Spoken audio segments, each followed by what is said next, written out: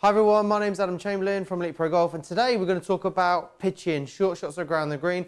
We're going to lead on from the wedge video we did the other week. Now, most people struggle around the greens for a couple of really simple misunderstandings and also some fear. So what we often see here is people with the ball back, hands forwards, or they drive the handle forwards this way, or they flick the hands at it this way. So we're going to give you a really good drill to help fix this today, get everything matched together and help you hit some really nice short game shots around the green and small pitch shots. Okay, so what do we need? Well, we've talked about the bounce and the importance of the sole hitting the ground and sliding through.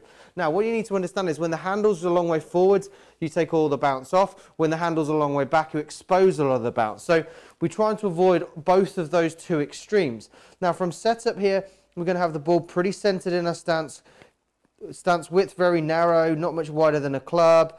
Now our weight is even or slightly on our front foot. Now from here, what we're trying to do is we don't want excessive handle lean forwards this way or backwards.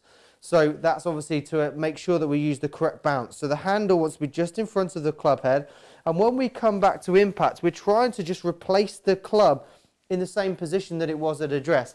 That's what we're trying to do. Now, a lot of people struggle because they drive the handle forwards or they flick the club head at the ball and then they struggle. So one of the key things to do in these short game shots, and people kind of freeze here, is they don't understand that you actually need to keep our bodies moving. You have to have a little bit of turn from the knees, from the hips, and from the torso. We need to make sure everything's moving. And what happens is that they either do that or they separate the arms from the torso. So what we're trying to do today with this really good drill is we're going to try and connect our, our right arm to our body and we're going to learn, so we're putting our hand just above kind of our elbow area here, okay, so that our lead hand's off. For me, the left hand is just above here. Now from here, we're going to try and turn back, turn through and keep this arm connected to the body. So what we're trying to do here, if you want it technically, we're trying to keep the right arm very close to the right side as we turn and pivot in this small swing. And what you'll find as you do this, You'll strike the club really, really nicely. And it also helps us deliver the club with the correct loft, providing we don't add some flick here or we don't drive the hand. So we're trying not to do that. By having this hand here, we're trying to keep it close to the torso.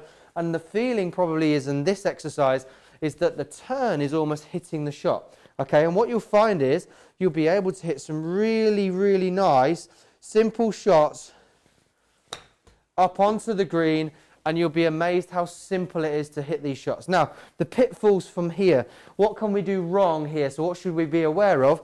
Well, one of the things we must be aware of is that we don't whip the club too much inside. So we need to make sure that we almost set the club up slightly.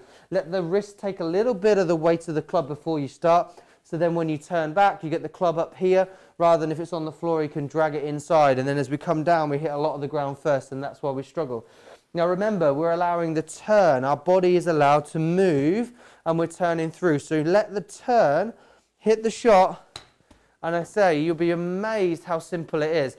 So recap, we're trying to make sure that we keep our arms connected to our body as we turn. We're trying to deliver the correct impact position this way, not driving the arms and separating because you get some right funny looks this way or this way. And this is disaster for short game shots. So let's simplify it. This is not easy. Practice this in the garden without a ball or on the practice area without a ball first. Try it. I promise if you practice this for a long period of time, your short game worries will go away.